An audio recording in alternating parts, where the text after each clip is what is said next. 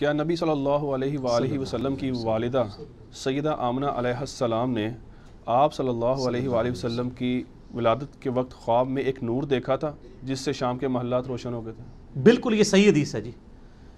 یہ حدیث دلائل النبوہ امام بئی حقیقی کتاب میں بھی ہے یہ حدیث مسند احمد میں بھی ہے اور مشکات میں بھی آپ کو نبی الاسلام کے فضائل کے چیپٹر میں تیسری جلد میں ملے گی۔ شیخ البانی شیخ زبیلی زئی دونوں نے اسے صحیح کہا ہے۔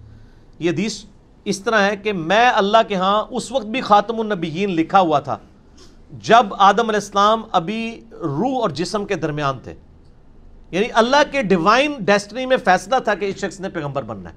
اس کا ایک حصہ ترمزی میں بھی ہے۔ جب پوچھا گیا آپ پہ نبوت کا واجب ہوئی، تو آپ صلی اللہ علیہ وآلہ وسلم فرمایا کہ میں اللہ کے ہاں اس وقت بھی نبی تھا جب آدم علیہ السلام روح اور جسم کے درمیان تھے۔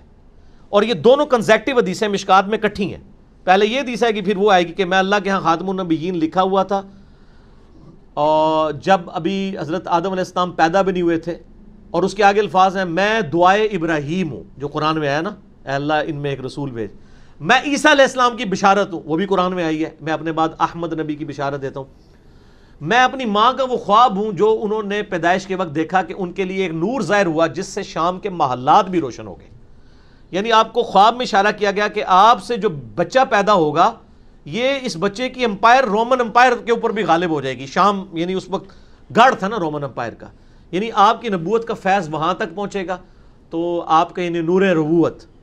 آپ علیہ السلام ظاہر ہے یعنی نور تو ہیں، نور ہدایت ہے سپیشیز کے طور پہ تو آپ انسان ہی ہیں۔ اور آپ کی افضلیت بھی انسان ہونے میں، کیونکہ انسان جو ہے فرشتوں سے افضل ہے۔ ٹھیک ہو نا؟